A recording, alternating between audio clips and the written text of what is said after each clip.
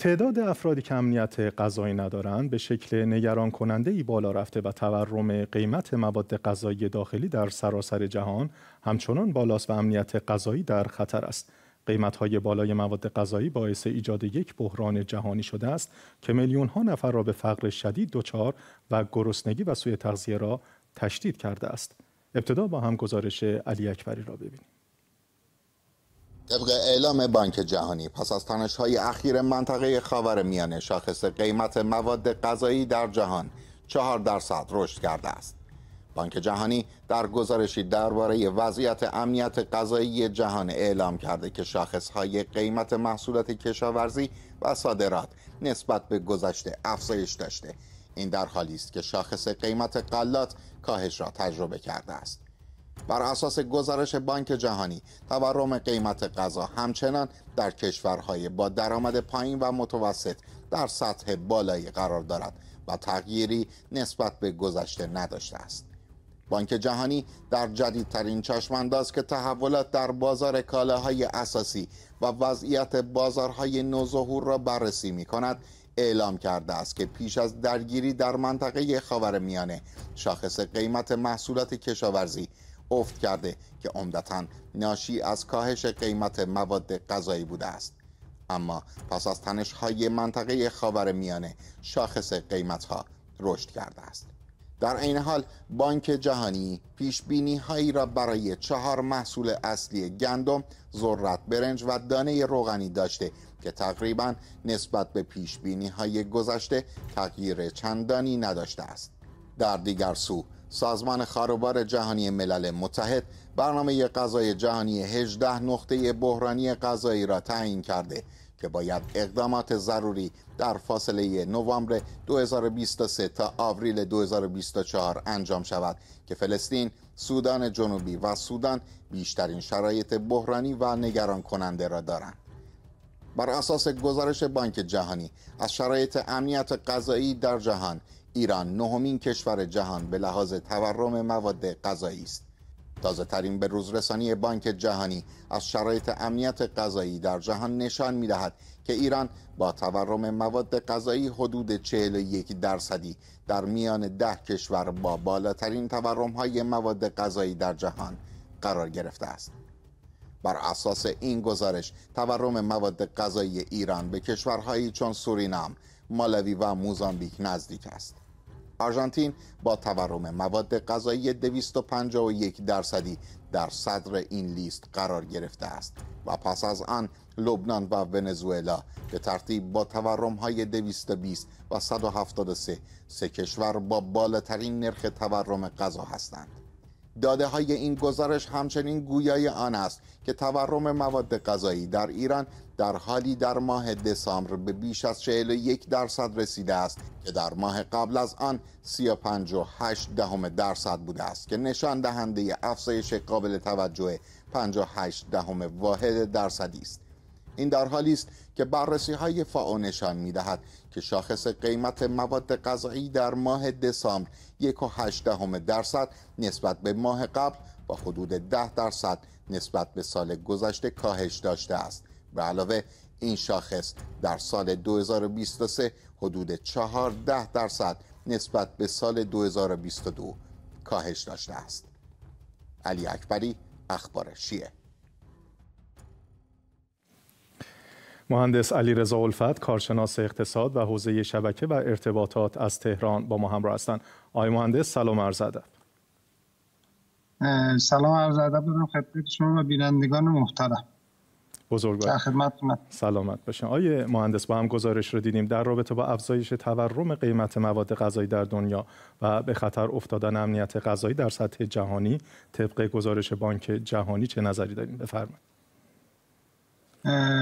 ببینید اصولا اتفاق خاصی در دنیا نیفتاده که بحث تولید مواد غذایی یا حالا محصولاتی که برای دست مردم می‌رسه تغییر بکنه. معمولا قیمت جهانی مواد غذایی خیلی وابسته هستش به اقتصاد کشورها.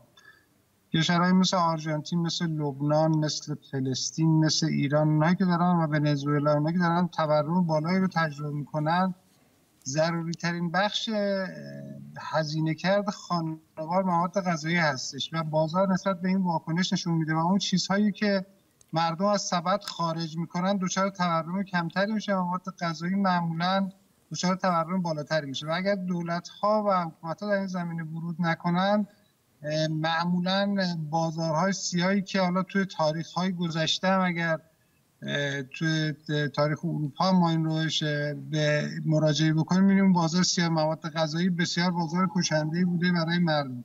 الان خب دولت ها ورود می‌کنن و جلوی اینو می‌گیرن ولی همچنان دلیل اصلی که اینها رو در روش تاثیر می‌ذاره اقتصاد متزلزل و نارومی های هستش که داره اتفاق میفته بله. راهکار مقابله با فقر شدید گرسنگی و سوء تغذیه ناشی از قیمت بالای مواد غذایی به نظر شما چیه؟ بفهم. بله فرمودید فقر شدید سوء تغذیه اینا خب مباحث گسترده هستش اما اینو فقط ما جمعش کنیم در حوزه اقتصاد بهش نگاه بکنیم.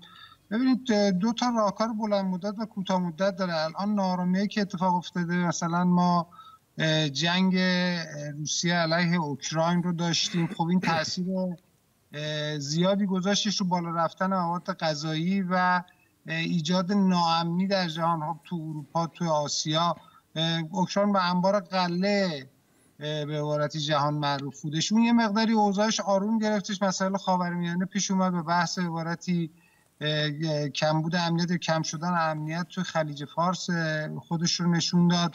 در این حال اتفاقات دیگه هم در دنیا داره شکل می‌گیره که ناشی از باز اقدامات برخی از کشورهای خاورمیانه یا سریحتر بکنم خب کشور خودمون هستش در دنیا و ایجاد ناامنی توی اقتصاد کشورهای دیگه و همینطور به صورت سیاسی. اینها باعث میشه که اولین بازاری که واکنش نشون میده نسبت به این موضوع بازار مواد غذایی هستش. اون احساسی که شکل می‌گیره که ممکنه اتفاقی بیفته و این مسئله منجر به عبارتی به گرسنگی بشه. خب راهکار این ایجاد امنیت در دنیاست. دوری از جنگ طلبی گوش کردن به توسعه اقتصاددان ها در علال خصوص بانک جهانی هستش و خب سازمان فاقا هم که عملا نظارگر هستش تو این سیاست گذار خاصی نیستش. و مجموعا این رو اگر بخوام جمعندی بکنیم برمیگرده به آرام بودن اقتصاد و ثبات اقتصادی در دنیا. و این می‌تونه فرصت رو هم بده به کسانی که نگرانی دارن نسبت به فقر و سوء تغذیه در دنیا سرمایه‌شون رو حالا یا به صورت خیلی یا به صورت سرمایه گذاری در حوزه تولیدات مواد غذایی تو اون کشورهایی که لازم هستش ببرن و مستقر بکنن. اینه که مجموعا برمیگرده به ثبات اقتصادی در دنیا. بله. آیا الفل وضعیت ایران هم در این گزارش ها به کشورهایی چون سورینا سورینا مالوی مالاوی و موزامبیک نزدیک شده. دلیل این رخداد چیه؟ ببخشید.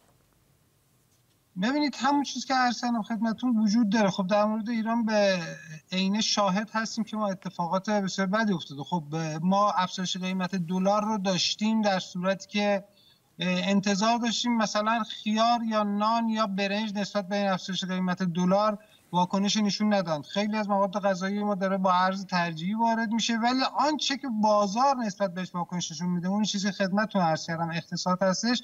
می اگر فرض کنید الان بریم در مورد لاکچری بگیریم مثال بزنیم. اگر پسته رو 10 دلار در بازار جهانی می‌خرن من هم قیمت ارزمو در ایران بر اساس 10 دلار می‌ذارم. اگر گندم اگر برنج یا هر مورد دیگه ای خب یک بخش تورم مواد غذایی در ایران این هستش. حالا اگر 41 درصد هم آمار داده شده شاید آمار درستی نباشه.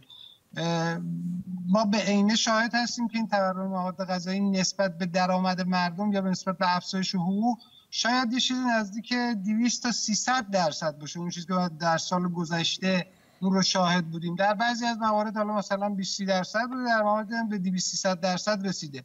واسه یکیش قیمت خوب ارزه اینی که قیمت ارز رفته بالا و در اینجا قیمت غذایی هم به نسبت ارز خودشون رو تنظیم کردن ضمن اینکه افزایش درآمدهایش تناسبی نداشته. اگر مثلا این 20 درصد رفته بالا اون 25 درصد رفته بالا فاصله این تو تورم مواد غذایی و قدرت خرید مواد غذایی مردم کاملا حس شده.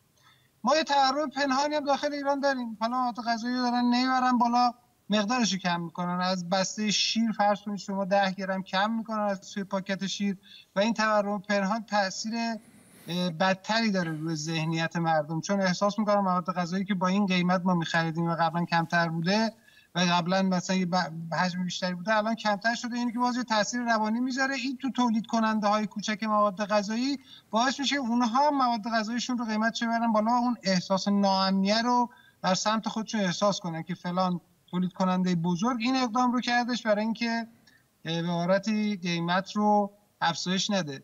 ضمن اینکه ما یه افسار گسیختگی ناشی از حاکمیت بد رو هم تو ایران داریم. عرض کردم اون 41 درصد عدد واقعی نیستش و یک عدد بسیار بسیار تعدیل شده است.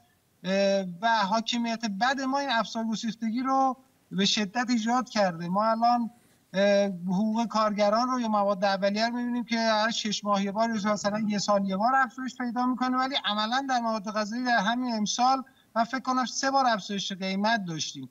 پس یک مورد دیگه هم حاکمیت بدمونه. و این رو هم من خدمتتون عرض بکنم. دنیا داره میره به سمت کاهش سرمایه گذاری در حوزه زیرساختی. همه دنبال متاورس دارن میرن دنبال ترید کردن میرن دنبال رمزرز دارن میرن.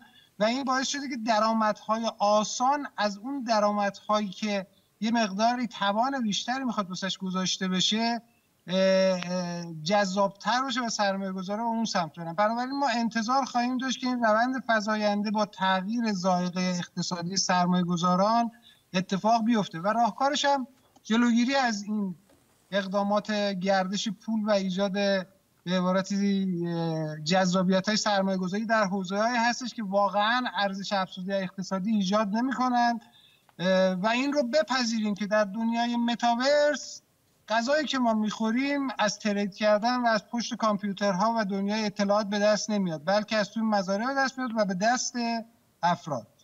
بله تشکر می‌کنم از همراهیتون. مهندس علی رضا الفت کارشناس اقتصاد و حوزه شبکه و ارتباطات از تهران با ما همراه بودند.